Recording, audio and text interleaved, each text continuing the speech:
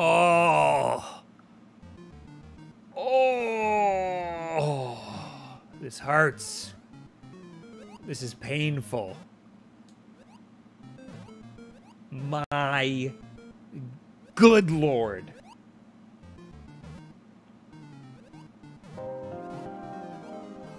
Ugh.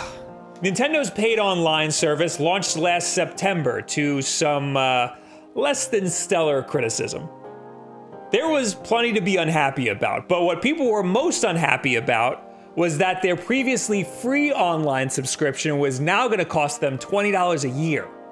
I held out hope that this subscription fee would be kicked right back into the ecosystem to improve some features. Now it's almost a year later, and there's been some minor improvements, sure, but it's looking like there's still a ways to go, especially with some new complications on the horizon.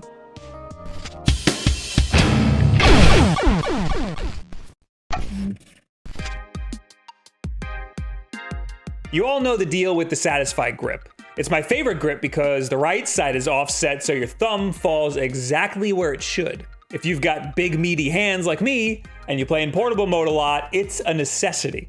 Right now, they're running a Prime Day sale, but this sale is extended all week long on their website with up to 40% off their products. So check it out at the links in the description below or at satisfye.com. That's S A T I S F Y E.com. My favorite thing about Nintendo Switch Online is the price. It's only $20 a year, which compared to its competitors' online offerings, it's way cheaper. And if you have an Amazon Prime account, you link that to your free Twitch account, you get Twitch Prime. Now you can get up to nine months of Nintendo Switch Online absolutely free. And now that I know that you have a Twitch Prime account, what's up? What's going on, guys? Pay, pay up. Give me that, give me that Twitch sub.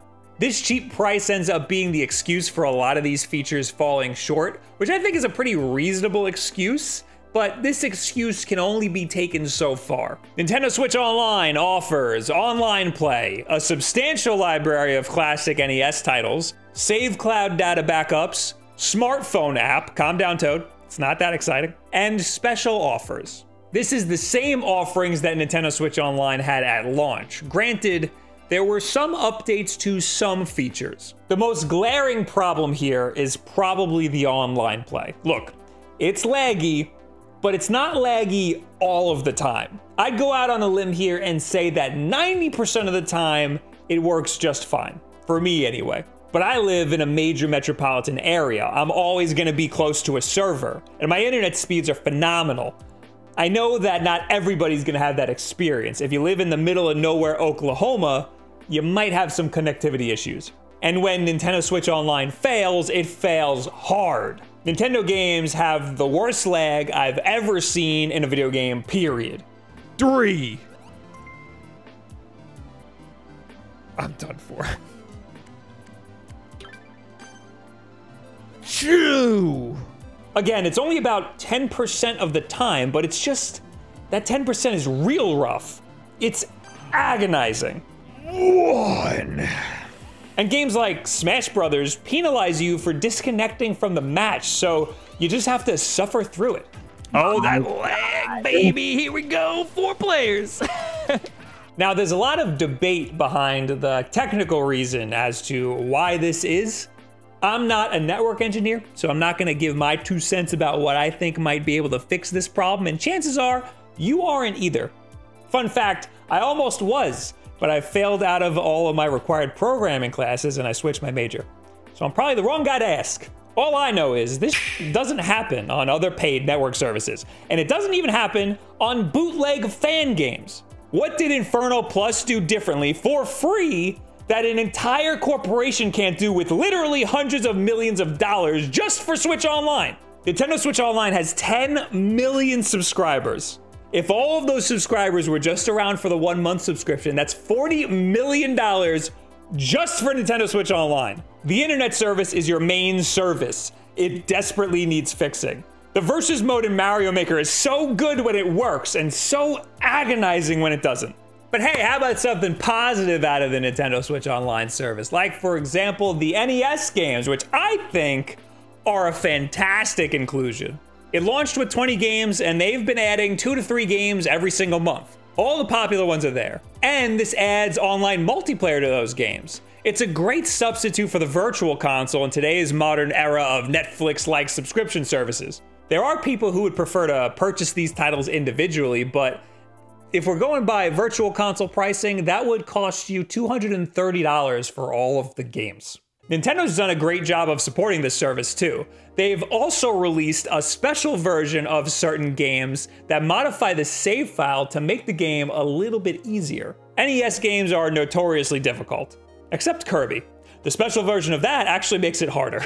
If you're a fan of Zelda and you've never played the original before, you should give the special version a shot. It starts you off with every item in the game and 255 rupees. But try the original version first. Come on, don't be a bitch.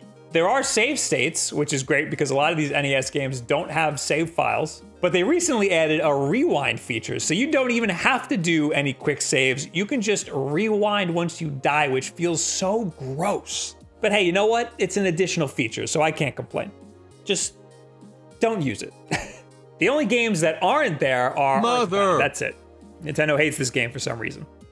But if you've never played any of these NES games before, you should definitely give it a shot if you now have Nintendo Switch Online. It's rumored that we're gonna get SNES games one of these days.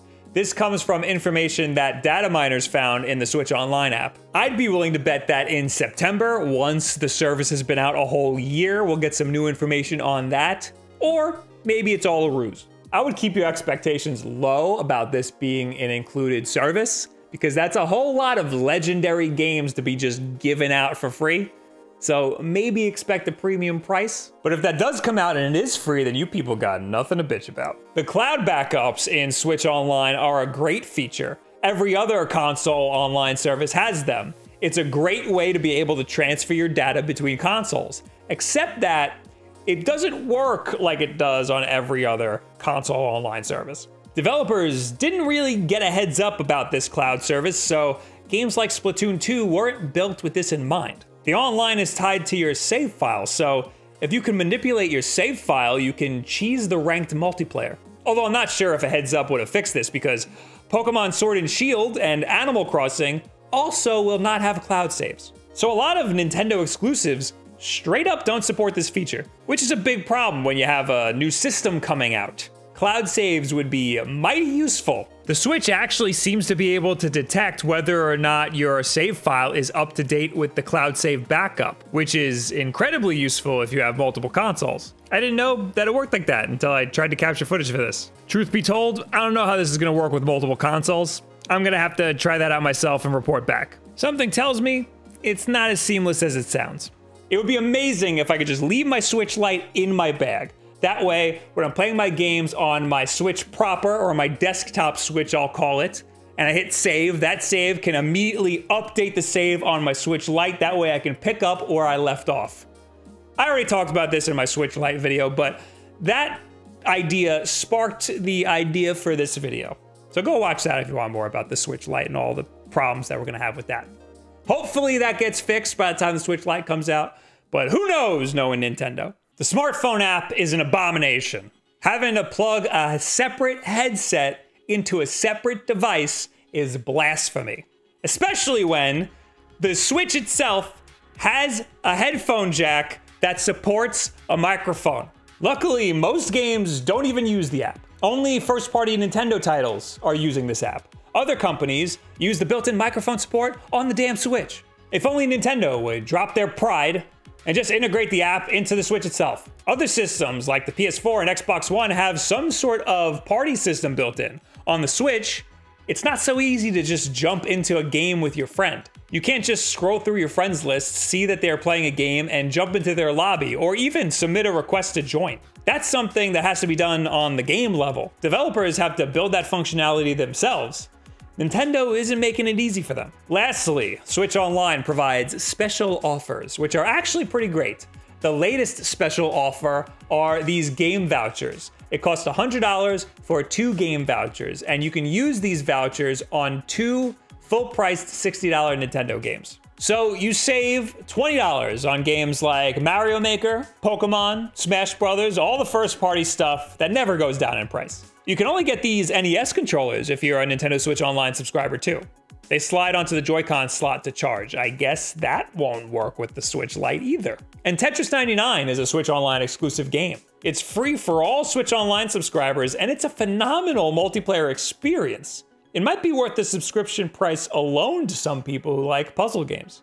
I mean, even if you don't like puzzle games, it's the king of all puzzle games. Xbox and PlayStation have something similar where they give away free games every month to gold members and PlayStation Plus subscribers, which is a great thing that you should check out every single month because you're if you have these services, you're missing out on these great free games. And a lot of the times, they're really great games. And I also know that PlayStation gives a discount on their digital game library to PlayStation Plus members. So that's kind of similar, but Nintendo Switch Online has offerings that are only available to Nintendo Switch Online subscribers. You can only get those NES controllers if you're a subscriber. You can only get Tetris 99 if you're a subscriber. You can only get these Splatoon skins if you're a subscriber. That's not, uh, who cares about that? The only extra feature that I would want to see is a Mario Maker bookmarking app or website, just like you already have for Mario Maker 1. That site's still around too. Just add the Mario Maker 2 functionality. Oh, this doesn't even have to be a Nintendo Switch Online service. This could be a free service too, although Mario Maker does require a Nintendo Switch Online subscription. So take that extra hundreds of millions of dollars that you're getting from just Switch Online and dump it back into the ecosystem and maybe just add the Mario Maker 2 functionality into the bookmarking app, please. Thank you very much. It would be such an easy way for you guys to send me levels and for me to queue them up. If you see a nice looking level on some message board or on Twitter, you can save it in the bookmarking app and open it up on your Switch easily.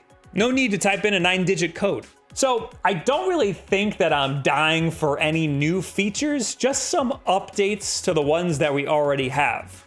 It's a third of the price of the competition's online offerings, so I can't really complain too much, but it's kind of a third of the value too. Hopefully some SNES games in September would make this service all worth it. You think that'll get people to stop disliking every single Switch Online video on YouTube? Nah, who we kidding? The internet hates every single thing Nintendo does all the time. So what do you guys think? How has your experience been with the Nintendo Switch Online? Is there anything that you'd like to see done differently? Is there any features you'd like to see added? Is there anything you'd like to see some updates on? Of course you want that lag fixed. Leave it in the comments below. Add me on Twitter. Any and all of this social media garbage. We got new videos and live streams all the time. Our schedule is usually in a pin tweet over on our Twitter. We also got Wulff Den live every single Wednesday at 8 p.m. Eastern time here on YouTube. And we got gameplay streams here on YouTube and over on twitch.tv slash wulffden where I've been streaming a lot more Mario Maker lately because it's out and I'm loving life. Although it's a little hot and I'm wearing a flannel and I'm drinking really hot coffee. So life's all right, I guess. And you can support us here on YouTube or over on Twitch with that Twitch Prime you just found out about, and you link it to your Discord account, and you get videos like this one early, private chat time with us, and you get to play multiplayer games with your boys once a month. That's in the Wulff Den Discord and the supporter only Discord. Anyway, the most important thing that you can do to help us out is just subscribe to the channel and share this video with a friend, a friend who also has Nintendo Switch Online, and you just want to sulk with each other. Thank you guys very much. I'll, I'll see you.